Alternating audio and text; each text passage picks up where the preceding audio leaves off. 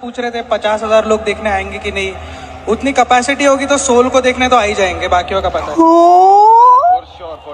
जनता काफ़ी ज़्यादा सपोर्ट भी दिखा रही है प्यार भी दिखा रही है। भाई सैवेज है भाई सिट तो। के परफॉर्मेंस को सो फार सोल की परफॉर्मेंस को कैसे इवैल्यूएट करेंगे अभी आप?